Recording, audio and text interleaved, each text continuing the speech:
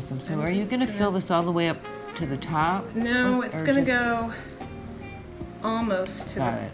Okay. almost to the top because you want to have a little bit left in your cup too. Um, Fill in, right? to yeah to get your corners if you see when you when you start moving your canvas around and you start seeing You need things that you don't want to then you at least you don't have to move it if you have that leftover paint you can just use that paint to cover the dry spots that And then you started. Are you repeating the pattern, or you're mixing your colors now? Cause you're going metallic to black no i'm to still white, doing a which it does, right? But those are the two i'm not going to put a lot in Gotcha. this i'm going to go really big Love it. Had white before the brown.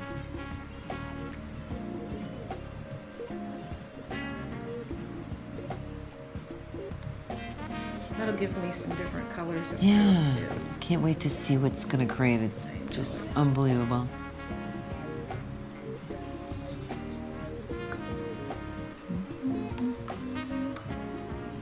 trying to remember what order I oh, did That's awesome. Yeah, you're good. And you got metallic.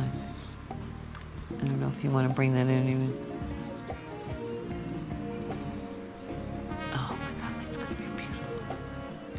I need to get some bigger layers though. You need to what? I need some bigger layers. Whoops! Oh. I got a little crazy. Here you go. There's your big layer. That's my big layer. What do I do? Black again? All right, that's gonna be awesome. Then watch. Yeah, I think those two are gonna look really cool do a white. Yeah. Right with you. Good tunes too, by the way. Oh, awesome. Okay.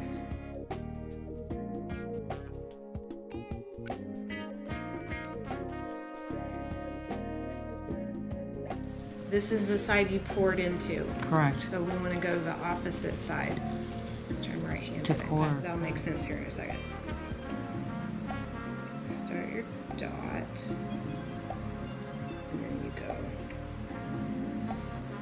Oh my god, it looks cool already.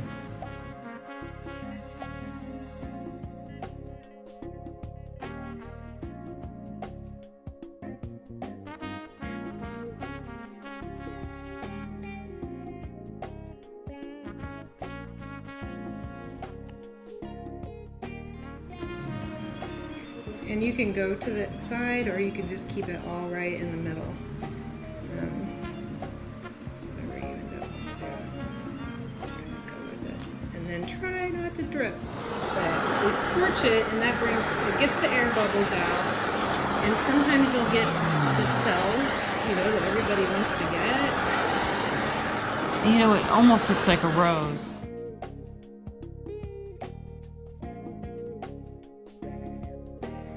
So I'm just gonna get it close. And then I'm gonna start going this way.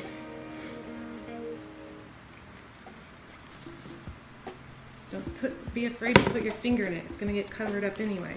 Gotcha. So we've already got it hanging off here. So I'm gonna go um, towards this corner. You gotta tell the paint where to go. Gotcha. But then it's gonna tell you where it wants to go. Yeah. It's looking really cool though. See, I'm trying to keep it in a circular, um, because once I get it close off the edges, then then I can start moving my ring back to the center. Once I get this covered here. Gotcha. Well, that'll be interesting to see how you're gonna do that.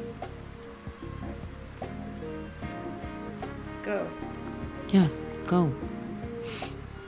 Here it goes.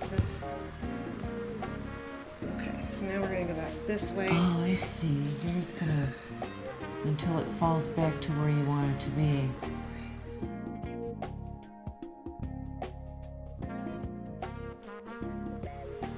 Okay. I'm gonna go back. Now I'm just gonna move. My tap just came out. I want it more in the center. So there it goes. But I don't want to lose this black over I here. know, right? It's really cool. So I think I'm, you know what, that almost looks like Yeah. an animal. I'm gonna leave it. Yeah. Pull your patterns that are on the table from your drippings into, and just tap, don't wipe.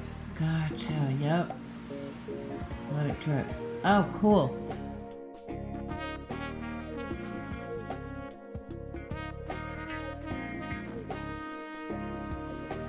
Abstract. I love the fact that it's just so funky and different, and uh, you're not going to go to a store and buy that or see it anywhere.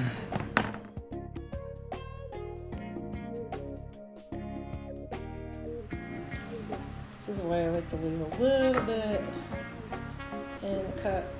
Oh yeah.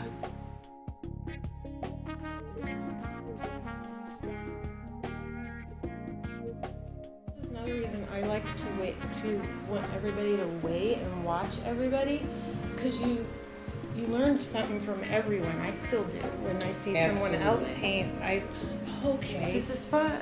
Is there a spot? Oh, It's a finger. it is. Yeah, but that. Awesome. There. Kind of looks cool. That totally does. It's getting some cells in there. I like it. Yeah, in there and right. I would.